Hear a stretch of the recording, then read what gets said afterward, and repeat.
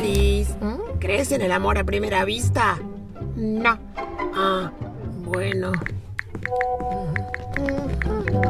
¿Y a segunda vista? ¿Mm?